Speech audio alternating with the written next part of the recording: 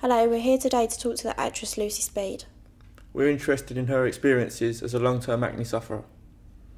Lucy, was it hard being on television with acne? Um, yeah, it did get a bit hard in the end. Quite often, I knew that I had a spot. I might wake up in the morning, first thing I do is check, oh, what does it feel like today?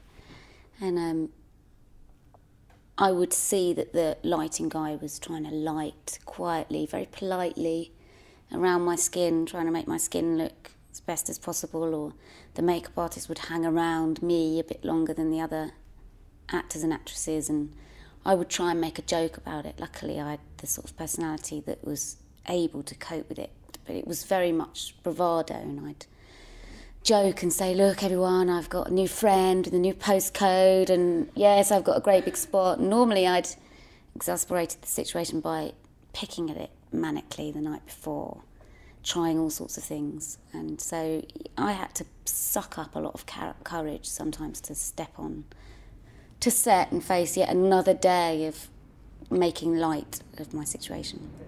Did it affect your self confidence when you was acting? It did, yeah. I think I might have played certain roles differently if I hadn't have been a bit self conscious about my skin. Um, and I especially uh, would get concerned if there was a scene where I would have to wash my face or um, kiss somebody because um, I didn't really want anyone touching my skin or rubbing any of my makeup off.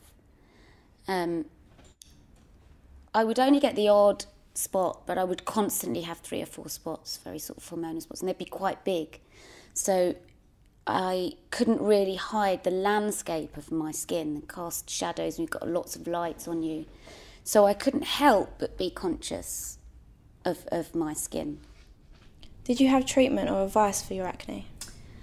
I had endless treatment and advice for my acne, and quite often the wrong treatment or advice. I think when you suffer with your skin, you become quite desperate to try anything that anyone suggests. Um, so I tried everything from Enlight laser to uh, researching different reasons for bad skin on the internet and ordering uh, super green tablets. Um, I tried microdermabrasion, blue light therapy, um, acupuncture, which was just filling me with holes, making me bleed.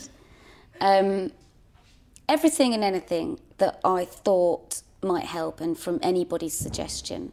And actually, for me, it was much more of an emotional and hormonal issue, and I was probably going down the wrong road quite often. And I also did try antibiotics, not um, Roaccutane, because I really didn't want to take that, but I tried oxytetracycline, which was given to me by the GP, and stayed on a contraceptive pill for a long time uh, in thought that it might help my skin, which it actually did a little bit, but perhaps not as much as it should have done.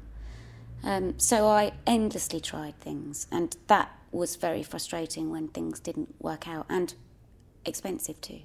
Did it affect any of your relationships? I'm not sure if it it affected any of my relationships. I was always in a long term relationship, and I'm married now. And uh, when I met my husband, my skin wasn't as good as it is now. Um, maybe it did with me, confidence wise. It might have affected me when I was single and who I may or may not have, have, have approached. Um, and where I went, I perhaps didn't go out a lot as a teenage, uh, as a 20 year old. I in my 20s I stayed in more. Um, confidence wise, I, I wasn't probably at my best. What age did your spots get worse? I was quite a lucky teenager. I didn't have teenage acne, and my skin was really good. And uh, I was filming then as well as a child, and remember the days when a makeup artist would say, "Oh, you just need a little bit of Carmex," and you're off, a bit of mascara, and, and suddenly my spots, probably by about 21. Um, and just as other people's skin was clearing up and they were looking amazing, mine was, was flaring up, and um, I was having a terrible time with it. And I was also on TV then in front of 20 million people regularly in EastEnders, so I don't know that anybody knew how to deal with my skin at that age. You spoke about medication. Did you try any home remedies to get rid of acne? I tried lots of home remedies. I tried um, I tried taking flaxseed, uh, in a drink, which was disgusting. I tried a cold compress on my face, so I'd sit there all night, constantly dabbing my face with a piece of chilled cotton. Um, I tried putting lavender oil on my face, and um, I don't know where I got that one from, somewhere on the internet. And I remember waking up in the morning and I'd given myself a third degree burn, had to go into work, and I think I was one of the first times I had a date with my husband, and I had to make up something about burning myself with the hot irons. I don't know, it was really awful. Um, what else did I try? I tried salt, putting salt, uh, just anything really, anything that anyone suggested, and anything that was on the internet. You know, those little things that flash up this is the answer to good skin, and you think, well, shall I go on it? Is it going to be a trick? Oh, I'll try it. Um, sending off for all sorts of miracle pills and um, anything the doctor told me to do, I did it, and anything anyone else told me to do, I did it. All with limited results. With try and order um, remedies, what worked best for you? Eventually, um, I found a doctor out of pure exasperation, really, um, that had come recommended to me, and kind of just gave them my problem and just went, You tell me what I have to do, and I'll do it. And it was very simply topical uh, solution for me. But what was the big thing was that I gave them my problem and I could go back to them constantly and say, this isn't working or that's changed or I need this. And it was a tailored answer really for me because they would go, okay, fine, use this a bit more, use that less, try this, do that.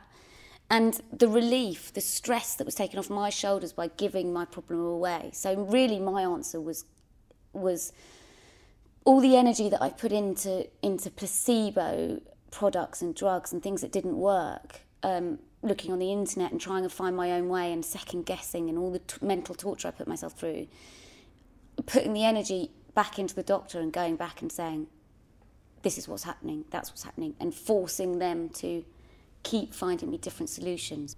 When did your acne start to go? Uh, well, I still suffer with acne, and I think I'm always going to be a sufferer. Um, but I have it under control. I've learned about my skin and I've learned what works for me.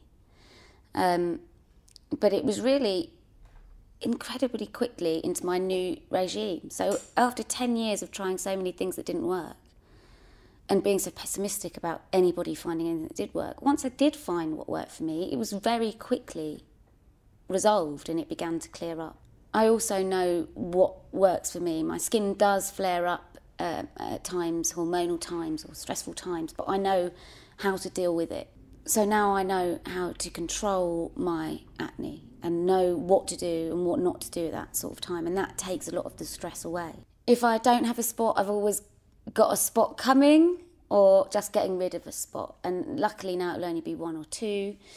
And they're not such a big issue. So I, they're still in my life, but they're not controlling my life anymore. Did people actually talk to you about your acne? Um, frustratingly, all the wrong people spoke to me about my acne. And um, when I was feeling most vulnerable, when I was in a makeup chair or whatever, as lovely as the girls were, everybody, without fail, every makeup person, day in, day out, would have a suggestion about my skin as if I was really doing nothing about it.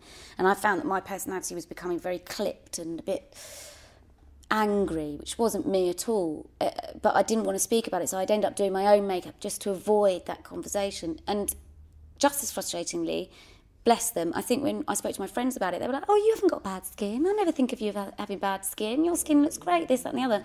So uh, I I don't know, apart from my parents, whether I ever got the conversation that I needed. And my mum and dad were great, and my mum was a sufferer, and and this was back in the 60s and i think had she have got rid of her skin issues sooner rather than later that she would have been a very different person. And i think that's what's happening nowadays. People don't need to suffer as long as they do. I suffered for 10 years and that was unnecessary and that's frustrating. But i now know that it, you can get rid of your skin problem or contain it and control it very quickly within six months. So that's a massive issue for me is making sure that everybody knows that they can all get the help they need um, from the right place very quickly. Did you ever get depressed about your acne? I would get very down about my acne, and I think that um, depression and the word depression are two very different things.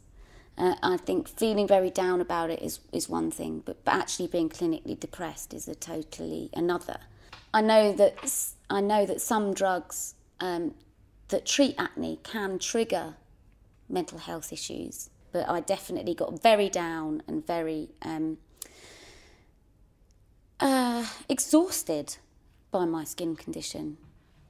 If I was going to give anyone any advice about their skin, I would say that you must go to the right people to get the right advice. Um, your GP is a brilliant place to start and to not stop until you get something that works for you because absolutely there is something that works for you. You don't have to suffer for a long time. And I can't explain how many people I speak to that suffer with their skin. I would say 80% to 90% of everybody that I speak to, famous actors, um, makeup girls, directors, um, regular friends, all suffer with their skin or have suffered with their skin at some point. This is something that everybody suffers from, whether it's uh, more obvious or not. Um, it absolutely shouldn't hold you back. And it hasn't held me back and it hasn't held lots of people back. And all that holds you back is your mind and whether you're a can do or a can't do person. And everybody can be a can do person and it doesn't come down to your skin and what it looks like. And your, your skin is treatable, it's not going to hold anyone back. Only you can hold yourself back.